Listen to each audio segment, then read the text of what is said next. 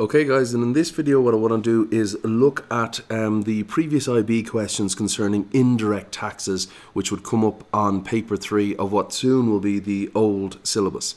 Now, like a number of these kind of um, pamphlets or, or, or, not at all pamphlets, but um, uh, question sets that I've put together, there's a lot of information that's not directly pertaining to us. So what I shall do is just move on very, very quickly, okay? Now, what we've got here, and I'm, forgive me as I'm moving the um, document camera, what we've got here is this idea, okay, of the demand which is here and the supply here, perfectly inelastic supply of um, a fake commodity called widgets. And you tend to actually find that in a lot of examples in um, um economics. Um, now, so the country of uh, the government of country Y decides to impose an indirect tax of ten dollars per widget. Okay, now, with reference to Figure Two, explain how the incidence of tax, who bears the tax, who actually pays it. I understand that the tax is always applied to the producer, but what the producer will do, depending on the relative elasticities, is pass on some of that tax to the consumer in the form of higher prices. Okay, so with reference to figure two, which is, and again I shall move, which is this one here, okay, so I, I, I stress for this question a perfectly inelastic supply curve and a downward sloping demand curve.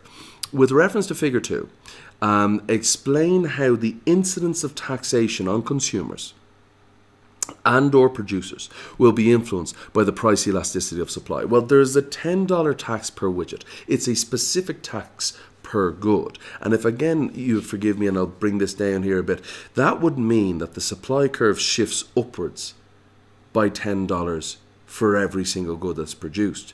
But because we can see that this supply curve is perfectly inelastic, a vertical straight line, that means that essentially the suppliers, the producers of the good will be the ones paying all the tax. Okay? Now, supply is perfectly inelastic. Therefore, producers will bear the full burden or incidence of the tax. Equilibrium price and equilibrium quantity will not change, so that consumers are not affected and again, producers bear the full burden of the tax. It is only because one of them is perfectly inelastic that that means that they will bear the full burden of the tax. Now, what I have here is a bit of a cheat sheet that I'm going to be coming back to in a second. So if you forgive me while I adjust the pages. Now, and I shall move my document camera up slightly. Okay, so what we have here is the following diagram illustrates the annual demand and supply for sugar in country C. It's a completely different situation, completely different scenario. We're not talking about widgets anymore. Now, in order to reduce the consumption of sugar, the government of country C, and I'm reading down here just so we're all clear, has decided to impose an indirect tax. As a result, the new market uh, supply curve for sugar is given by this, where QS is the quantity of sugar supplied in thousands of tons per year. Please keep that in mind for later questions. And P is the price of sugars in dollars per price of sugars, price of sugar in dollars per ton. On the diagram, plot and label the new supply curve. Well, what we really must do here is take this QS equals 450 plus 5p and we must be uh, in a position to draw it. So, well, the first thing I'm going to do is I'm going to write QS equals minus, excuse me if I didn't say the minus um, previously, minus 450 plus 5p. Now, an easy way to do this is, always, so we need two points on the line, okay? We need to find two points that exist on this line. So an easy way to do this is let's set QS equal to 0. So instead of QS here on the left-hand side, I'm going to write 0 equals minus 450 plus 5p. I'm going to bring this minus 450 over the equal sign, thus changing its sign, and I'm going to leave the 5p over. Now, what that means is, if I divide both sides by the number before the letter I'm trying to find, 5p divided by 5 is simply equal to p, and 450 divided by 5 is simply 90. So what we have here is that at price equal to $90, quantity supplied equals zero. So that's one point on that line. And that's, again, of course, like, you know, really, really important to know that you um, are uh, aware and capable of, how, of, of, of drawing these demand and supply curves as we see in this case. Now, um, if I may just refer back to this diagram here, okay, so let's look at somewhere around here, right? So we've got uh, a price that goes, a price axis that goes from zero uh, uh, down the bottom up to 220 down at the very top. Okay, so let's choose something close to the middle. So what I'm going to choose is something in and around, let's say 150. So what do I mean by that? Well, the first thing I'm going to do is I'm going to write down the equation of this line again, the equation of this supply curve. And I'm going to say, now I'm going to say price equals 150. So I'm going to solve for quantity supplied. So I've got quantity supplied, which is what I'm looking for, equals minus 450 plus 5 times 150 because it's 5p and now I've just chosen to say well what is the quantity supplied when price equals 150 so instead of p I've put in 150 here so what we've got is qs equals minus 450 plus and I believe that's 750 QS, and again, ah, I don't know why I do this, but I just have a tendency to do this when I'm working out. Of course, you can absolutely skip this uh, this step here. I just like to put the positive numbers first and the negative numbers second, and I get QS equals um, 300.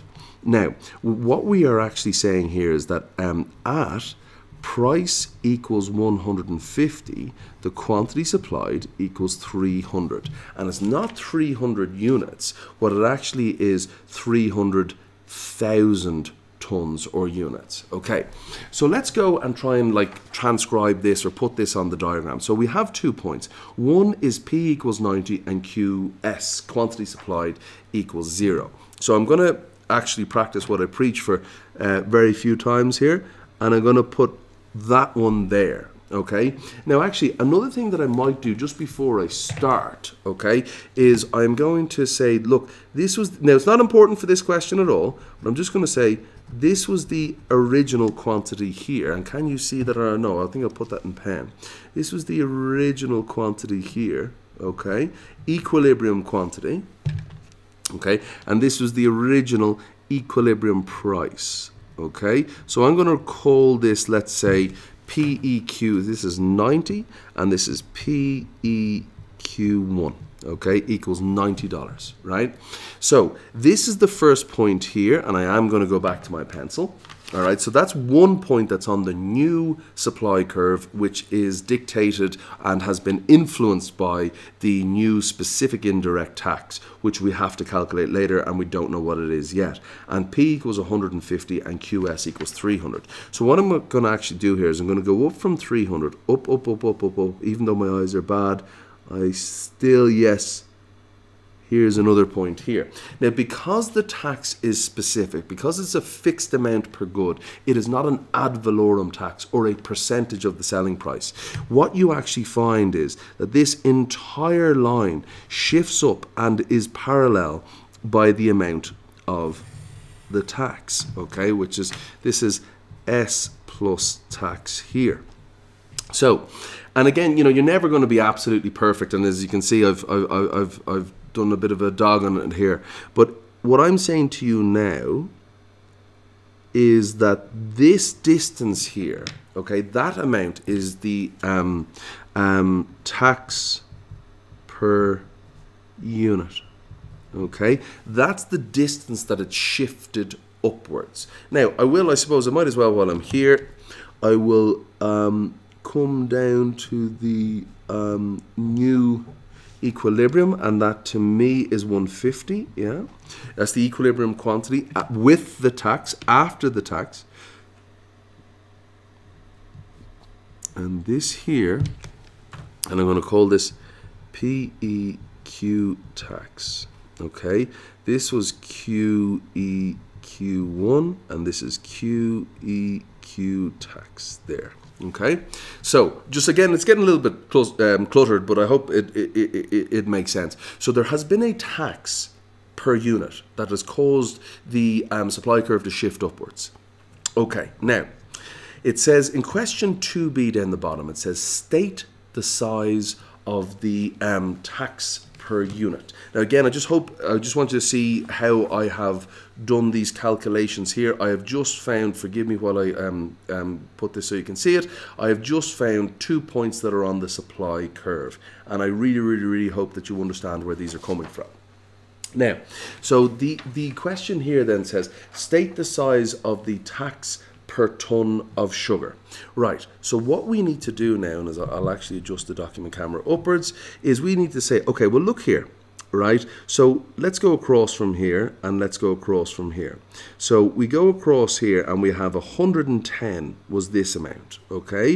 And then we go across here and we have 150 was this amount. All right, so if I actually just take one from the other, because it doesn't matter what quantity I choose these values from, 50 uh, dollars minus 110 um, equals $40. What I'm actually saying here is that it doesn't matter what quantity I choose to, to, to measure the differences from. So if I went from, let's say here, okay, so I went across from here and it's 100, and then from there and up it's 140. It's the same calculation okay it really doesn't matter so what we actually get here is the the the um, $40 is the tax per ton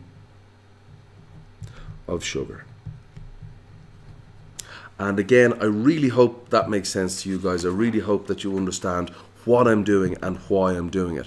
All I'm saying is that at every price, $40 of an indirect specific tax has been added onto the um, price of the or onto the supply curve and as such onto the cost of production shifting up the supply curve. Okay so it says calculate the producer surplus which will be earned following the imposition of the tax Okay, well, let's go back to this here. So, what the producer surplus is the area above the supply curve and below the price. All right, so here now the new supply curve is thus starting at 90 and with a positive slope of 5. So, for every time you go up 1 in terms of price, you go across 5 in terms of quantity. So, what we are trying to do is to measure this area here. Well, that looks like a triangle to me, and I hope that you know from all the way back in primary school how to calculate the area of a triangle. So the way that you calculate the area of a triangle is half the base times the height, and it's half times the price change multiplied by the quantity. Okay, that's why I wrote price there. Okay, so what I mean by price change, or I suppose price divergence, it's half times this, which is the base here. So that's 120 minus 90, times the quantity, which is 150,000. Okay, 150,000. So what I've got to do now is I have to write down 1 half times 120 minus 90. And again, where am I getting these figures from? Okay, this is the price difference. So it's this minus this, that's the length of the base, okay, multiplied by um, 150 1, 2, 3,000. And where am I getting that from? Because this here is the height of it, which is 150,000. Now, so I'm going to write down 1 half times 30 times 150,000, which is 15 times 150, 1, 2, 3 and I have worked that out to be in dollars. Don't forget producer surplus, consumer surplus, and total surplus are always measured in dollars. So two million and two hundred and fifty thousand dollars. So as I just write down here, answer producer surplus uh, equals, and just writing the exact same number again. Okay, two two and a quarter million dollars. Okay, now on to the next thing. Now, I suppose in an effort to be um, clear, I think I've just muddied the waters and probably added more confusion than anything else. But let's just look, and hopefully my logic will become apparent to you later, okay? Determine the incidence. Who pays the taxes, the incidence. So I know, and we've already stated in this video, that the tax is applied a specific and indirect tax, which is regressive. We'll come to that later. An indirect tax is an extra tax per selling of the good. That's applied to the supply curve. But as we have already said, the producers can depending on relative elasticities, PED versus PES, can pass some of that tax onto the consumer in the form of higher prices. Okay, so let's have a look at this now, right? The original price was 90. we have just worked out, not just, I suppose, but here, we have worked out that the tax was 40. Uh, dollars, okay? The original price was 90 Following the tax, the consumer now pays 120 So, if you could just ask yourself, how much has the consumer paid? It's 120 minus 90, which equals $30. Okay, the tax per ton, as we have already worked out, is $40. So the producer tax, or the incidence of tax for the producer, equals the total tax minus the incidence of tax on the consumer. So the producer tax equals $40 tax minus $30 that's been paid by the consumer equals $10. So the producer tax incidence is simply $10 per ton